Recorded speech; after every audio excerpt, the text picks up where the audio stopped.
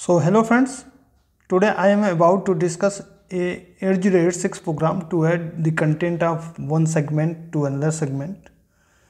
And I hope uh, you have some idea about segment. And if you have no idea about segment so you can watch my previous video which I have uh, uploaded on the best of segmentation. And I have explained each and every aspect regarding the segment which is required to know you about 8086 memory segmentation okay so basically program क्या है कि हमारे पास to segment हैं। और एक segment पे एक number है, दूसरे दूसरा नंबर है। हमें इसका क्या करना है? एडिशन करना है। And we have to store output at third segment so here you can see I have taken two segment first one this second one this and this is X one which is store at first segment X two second segment पे store है। और हमें यहाँ पर इसका output store करना है। ये प्रोग्राम बहुत ईजी है। आ, सिर्फ़ कन्फ्यूज़न क्या है? सेगमेंट को लेके। तो मैं इजीली एक्सप्लेन करूँगा ताकि आप इजीली समझ सकें कि अगर ऐसे कोई प्रोग्राम आते हैं तो आपको कैसे करना है। ओके तो बेसिकली इसमें क्या होता है? सबसे पहले हम सेगमेंट पे काम करते हैं देन उसको ऐड करेंगे फिर आउटपुट डालेंगे। ठीक है? तो अगर आपने एट ज़ीरो सिक्स पढ़ा होगा तो आपके आपको पता ही होगा कि हमारे पास चार सेगमेंट होते हैं code segment stack segment data segment and extra segment तो यहाँ पे हम कोड सेगमेंट और डेटा सेगमेंट को यूज़ करेंगे। एक्स्ट्रा सेगमेंट भी यूज़ कर सकते हैं। तब हम देखेंगे कैसा इसका एडिशन होता है। देखिए, सबसे पहले जब भी हम कोई भी प्रोग्राम करते हैं तो सबसे पहले हमें क्या करना होता है कि जो भी हमारा मेमोरी लोकेशन है, उसको हमें पॉइंट करना पड़ता है। जब हम मेमोरी लोकेशन को पॉइंट करेंगे तो उसको हम सेगमेंट को भी पॉइंट कर सकते हैं। ओके तो चलिए स्टार्ट करते हैं। हमें करना कैसे है? तो सबसे पहले हम इस लोकेशन की बात कर लेते हैं। इसके लिए हमने क्या किया? सबसे पहले move C X two thousand हमने क्या किया? टू थाउज़ेंड को सी एक्स में स्टोर कर लिया। उसके बाद जो भी सी एक्स है उसको हमने डेटा सेगमेंट में स्टोर कर लिया। ओके, डेटा सेगमेंट हो गया। अब जो भी हमारा सेगमेंट है, इसका जो डेटा है, उसको हम किलोमीटर में स्टोर कर लेते हैं। तो हमने किया मूव, सॉरी किलोमीटर नहीं, एक्स में।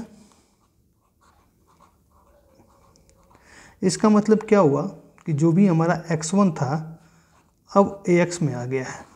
ठीक है मीन्स फ़र्स्ट डेटा। अब ऐसे ही हम सेकेंड के लिए करेंगे। So move C X three thousand और हमने क्या किया? Move D S C X अब हम इसकी बात कर रहे हैं। अब हमें क्या करना है? X one plus X two करना है। तो here add A X comma zero six. अब इसका मतलब समझिए क्या है? देखिए एक्स एक्स ए एक्स में क्या है हमारा? एक्स वन है। ये हो गया एक्स वन ये किसको रिप्रेजेंट कर रहा है? एक्स टू को।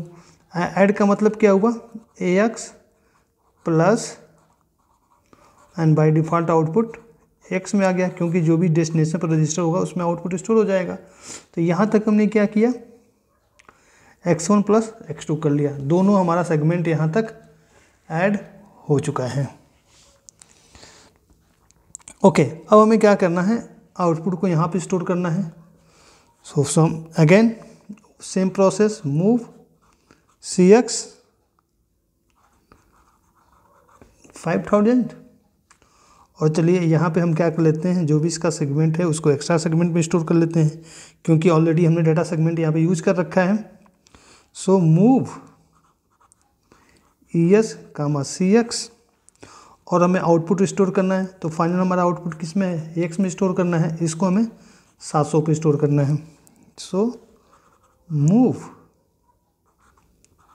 सात सौ एंड एक्स तो इस तरह से क्या हुआ? फाइनल आउटपुट आपका यहाँ पे स्टोर हो गया। एंड हाल्ट तो ये एक सिंपल सा प्रोग्राम है।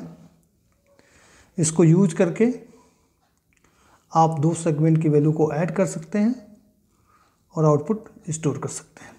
तो यहाँ पे एक सेगमेंट ये है, दूसरा सेगमेंट ये है, हमें तीसरे सेगमेंट पर आउटपुट को स्टोर करना है। सबसे पहले हमने इस मेमोरी लोकेशन को पॉइंट किया। उसके बाद इसको एक डाटा सेगमेंट में इंसर्ट कर दिया। फिर हमने जो भी सेगमेंट है, उसको एक में ले लिया। फिर दूसरे सेगमेंट को पॉइंट किया, दोनों को ऐड कर दिया, फिर यहाँ पे आउटपुट स्टोर कर लिया। तो this is very simple program to add two segment and store output at third segment